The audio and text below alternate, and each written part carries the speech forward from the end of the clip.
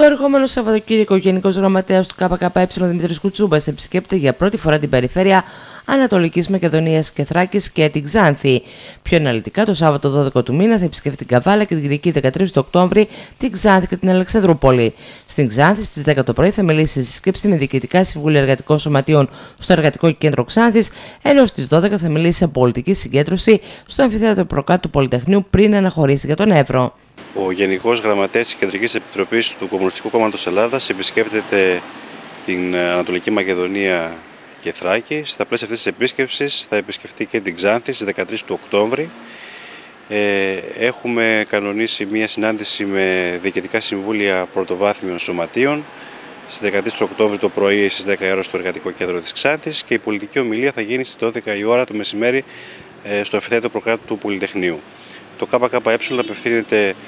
σε όλα τα λαϊκά στρώματα που βιώνουν την αντεργατική λέλαπα ε, του μνημονίου αλλά και των μέτρων των εργατικών που έχουν πάρθει πριν από αυτό απευθύνεται στα λαϊκά στρώματα έτσι ώστε να δώσουν μια απάντηση ε, αυτά στα πλαίσια της Λαϊκής Συμμαχίας οι εργάτες, οι αυτοαπασχολούμενοι, οι αγρότες, οι νεολαία και οι γυναίκες. Η λύση λέμε ότι είναι στα δικά μας χέρια για να αντικρούσουμε όλα αυτά τα αντρεγαμετικά μέτρα που έρχονται και στα πλαίσια αυτά θα δώσει και τη διέξοδο που προτείνει το ΚΚΕ. Μέσα από αυτό, μέσα από την πολιτική ομιλία δηλαδή, ε, θα έχουμε επαφή και με τα πρωτοβάθμια σωματεία, να συζητήσουμε και για τα προβλήματα που υπάρχουν ε, στο νομό Ξάνθης ε, και εμείς λέμε ότι αυτή θα είναι η μαγιά της αντίστασης στα πλαίσια των αγώνων που θα έχουν αναπτυχθεί μέχρι τώρα και που θα αναπτυχθούν το επόμενο χρονικό διάστημα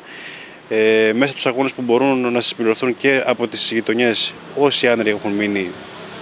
εκτός χώρους δουλειάς ε, και ε, θα αναπτυχθεί μια πλούσια συζήτηση σε